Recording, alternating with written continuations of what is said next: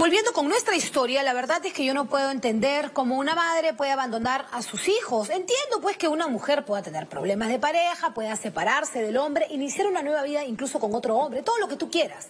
Pero tener ocho hijos con cuatro hombres diferentes y haber dejado a todos siendo niños en distintas casas, con distintas personas, abuela, tíos, qué sé yo, o los mismos papás, separándolos además, siendo todos hermanos, separándolos entre hermanos, no lo entiendo. La verdad es que no lo puedo entender.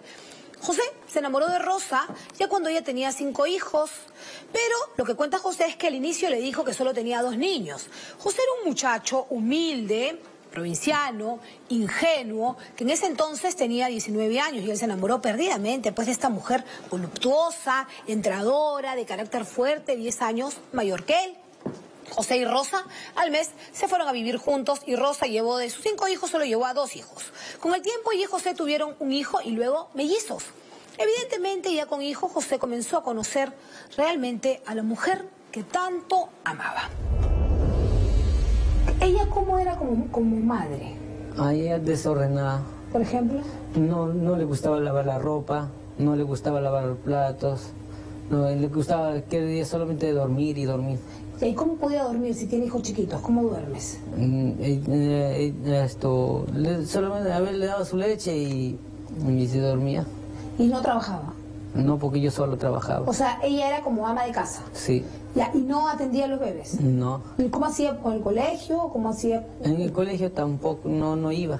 Como que no iba. No, a su hijo, por, por eso a la policía yo lo llevé para que constate. Eh, esto, no le mandaba al colegio porque no le digo que hasta tarde se quedaba mirando en televisión y en la mañana no se levantaba. Las interminables peleas entre José y Rosa terminaron por destruir una relación de más de 10 años. José confiesa que durante la convivencia con Rosa él se preocupó por cuidar al hijo mayor que ella tuvo con otro hombre. Pero lamentablemente ese hijo cayó en el oscuro mundo del pandillaje, pues según José, Rosa no tenía el menor interés de criarlo. Pero José tenía una mayor preocupación. Sospechaba que Rosa ya tenía otro hombre en su vida. Él cuenta que un día Rosa decidió irse con el hijo que ya andaba por malos pasos y dejar a los tres pequeños que tenía con José. Y se fue. Se fue a las 7 de la mañana. ¿Ya? Día viernes. Llegó el domingo 8 y media de la noche. Se llevó a su hijo, al mayor, y a mis hijos le dejó. No me llamó, nada. Yo tampoco no lo llamé. No lo llamé. Llegó 8 de la noche y yo le digo, pues no, digo, esto, ¿por qué no me llamas? ¿Qué lo bebes? Y, le y entonces me dice, no me Empezó a hablar así, palabras gruesas, es muy grosera para hablar. Entonces me dijo, eh, ya pues este caso, pues, tus hijos no me interesan a mí, yo no lo quiero a tus hijos. Se fue, simplemente se largó, desapareció, dejando a sus hijos tirados solos en la casa. Esto sucedió hace aproximadamente dos años. En ese entonces el niño mayor que tuvo con José tenía cinco años y los mellizos tenían dos años. Los dejó así. Miren ustedes las fotografías. Así dejó su casa. Mugrienta, sucia, un lugar, un lugar completamente antihigiénico, una cochina desaliñada y así dejó a sus hijos. Miren ustedes a los tres niños, sucios, desaliñados, descuidados. Estas son fotografías de agosto del 2014. Imágenes, imágenes que registró José cuando Rosa abandonó la casa. José además fue a la comisaría. Aquí yo tengo el parte policial. Es un parte policial de abandono de hogar que dice lo siguiente, efectivamente lo corrobora el policía. El policía dice que los niños estaban descalzos, con ropa sucia, descuidados en el interior de la casa, en completo desorden, confirma pues que, que no había limpieza, confirma todo eso. Han pasado dos años. Pero ¿cuál es el problema ahora? Que todos los días José tiene que levantarse a las 4 de la mañana para vender desayunos en un mercado. Luego alquila una mototaxi y no tiene con quién dejar a sus tres niños, pues a los tres tiene que darles de comer, entonces tiene que trabajar. Para eso se saca la mugre, mientras la zángana de Rosa, madre de los tres niños, se la lleva fácil y vive feliz de la vida, según José, junto a su nueva pareja, ajena a la dramática realidad que viven sus hijos. Ahora yo quiero que conozcan ustedes quién es Rosa Martínez. ¿Qué quieres? ¿Ah? ¿Qué cosa? Yo vine solamente a decirte. ¿Qué vienes o qué me dime? No te estoy jodiendo, yo he venido a decirte, pero lo bebes. ¿Cómo para los bebés? ¿Para lo bebes qué? O sea, me llamas, me gritas, haces lo que quieres, tú no tienes por qué gritarme a mí. ¿eh? No, que yo te estoy reclamando lo justo, lo bebes. no es otra cosa que se esté diciendo. Y yo he venido a decirte, Claro. Está bien, a, a hacer alquilar, tengas que ser responsable de los bebés. ¿Ah? Tú no vas, ¿qué vas a ir a si ni siquiera te quieres hacer responsable de los bebés? Yo te vengo a reservar lo justo, Mira, te vengo a Te reclamar. estoy avisando bien claro. Yo soy la misma de antes.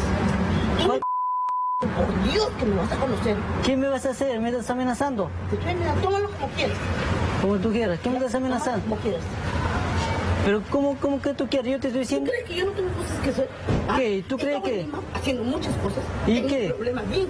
Eh, Pero es tu ¿Ya? problema. Yo tengo problemas con los bebés también. ¿Y qué? Hace tiempo. ¿Así? Así que ¿Qué? Tú también me dejas botada por la rota con yo, yo tengo que ir a trabajar. Yo vengo a trabajar.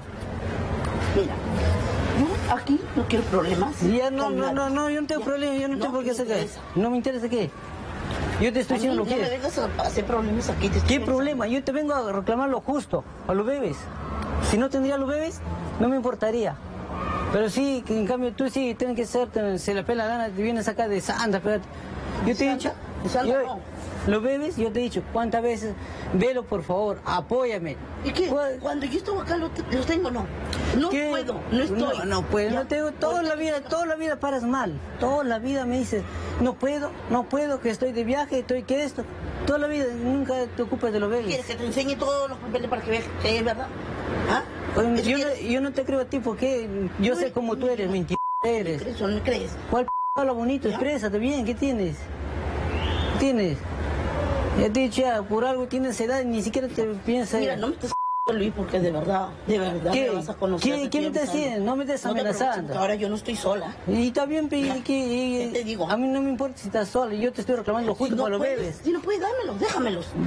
Se te apenas dos, tres días las has traído y vienes acá a discutir, vienes a... ¿Por qué no puedo? Tengo que trabajar. ¿Quién me va a dar? ¿Quién ¿qué? me va a dar? ¿Tú ¿Y me das? ¿Y yo qué? ¿Tú me das? ¿Y yo qué? ¿Yo dónde saco? ¿Y yo dónde saco, dime? ¿Qué? ¿No querías quedarte con ellos? Date cuenta. Date Así cuenta. me quedaba yo con ellos. Me daba sin cuenta, embargo, tú no te fuiste con, con otro pata y viene, a te la sal. Ya. Pero ríete, Sí. ¿qué más? Sí. ¿Y qué más? Pero sigue riendo, pe.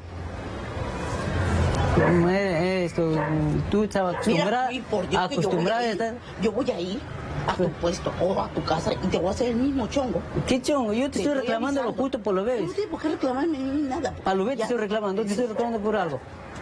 Déjame el celular. A ver, así llames.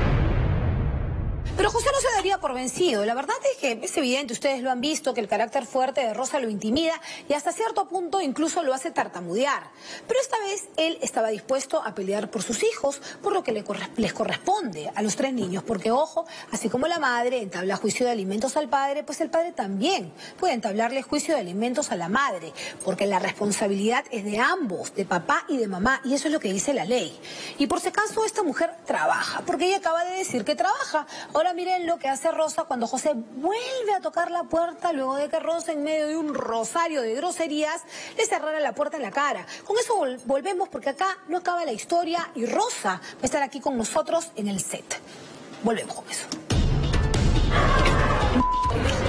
¿Qué? ¿Qué? ¿Qué tiene? Lárgate de acá, ¿eh? Claro, yo te estoy viniendo a reclamar justo por los bebés. Yo estoy reclamando por los bebés.